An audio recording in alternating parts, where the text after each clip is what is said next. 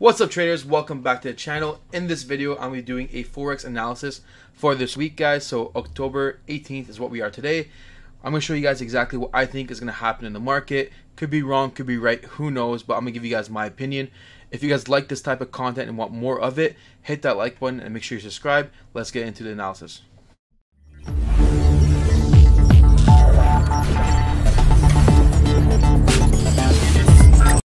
Alright guys, so the first chart I want to look at for Forex here is we're looking at the US Canadian dollar. This is one of my favorite pairs to trade. As we can see guys, we had a very strong uptrend going up right now, but it looks like it may have become a downtrend very soon. As we can see, we had a trend line here that got touched once, twice, three, four times around this area, and eventually was broken right here guys. And now we are making lower highs. So right here, another lower high here and right now it just touched the back of this trend line which means that it retests the trend line. So what we could see happen here guys is we could see either one or two things and I want you guys to pay attention to it. So I'm just gonna bring up this little path icon. So we can see it come up here and then quickly start coming down and start creating a downtrend right? That's one thing that we can see happening.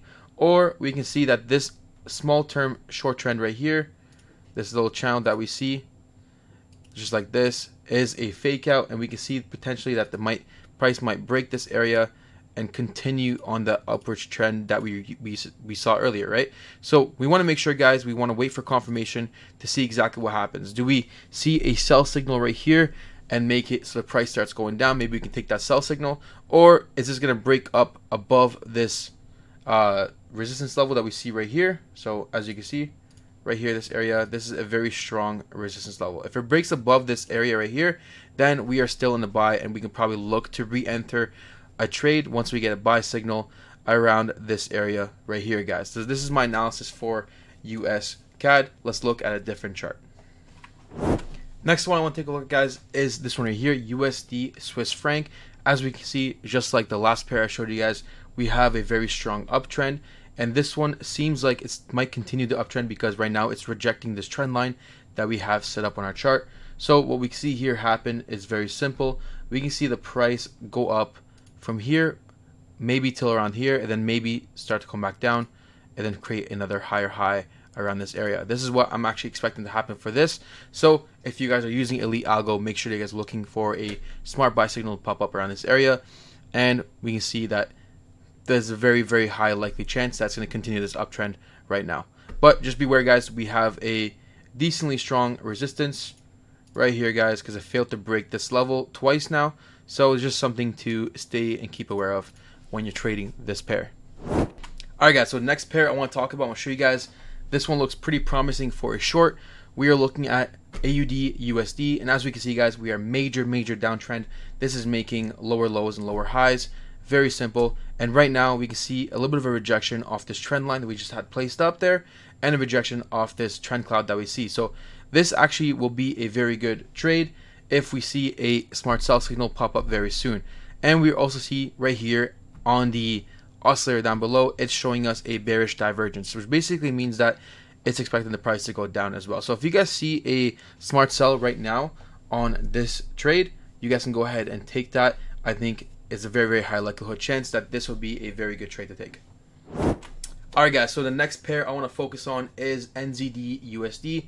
And as we can see guys, we were in a very strong downwards trend, right? But we had this support failed to break multiple times. Once, twice, three, four, five times.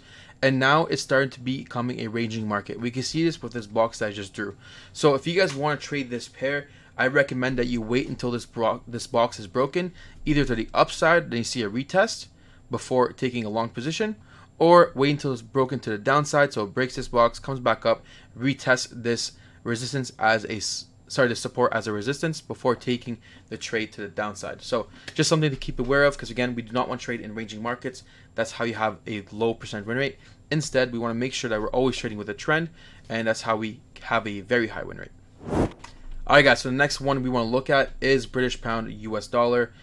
Obviously, what we can see here is we see we have major resistance up here in this area, and then we have a support that's building with higher lows with this trend line, right?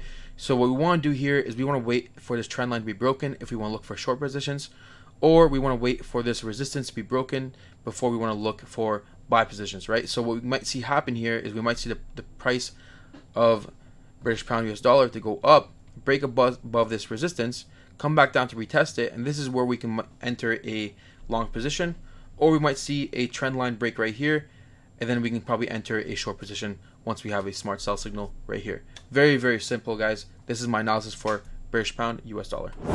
And now the last one that we want to look at, guys, Euro USD. We can see that it is in a very strong downtrend, as we see right here. And we have a very strong resistance right now where the price seems to be reacting off this resistance. So if we have a smart sell signal right here, this is something that we can potentially take. Just make sure, guys, that when you're setting your stop loss, make sure your stop loss is behind this level right here, behind this trend line, right? Because this trend line has been touched many times, right? Once, twice, three times. And then we might be able to see the price come up, break this as a false breakout before coming touch this trend line and coming coming back down. So just be aware of that. So make sure your stop loss is a little bit higher for this one. But we can see if we get a smart signal, smart sell around this area, that we will have a very good trade to the downside that's pretty much it for my analysis, guys. If you guys like this type of videos, you want me to make this every single week for you guys, hit that like button and make sure you subscribe. And let me know in the comments down below if you guys have any questions. Peace out.